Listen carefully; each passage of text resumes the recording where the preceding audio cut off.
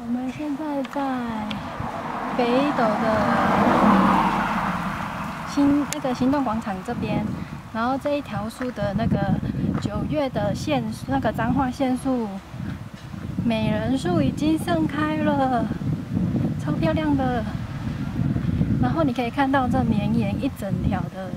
就是河道，然后全部满满的都是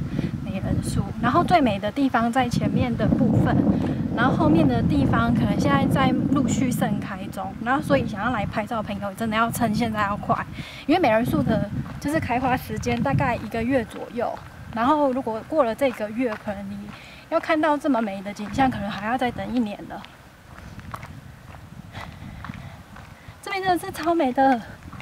然后最喜欢的就是前面这个部分的那个美人树，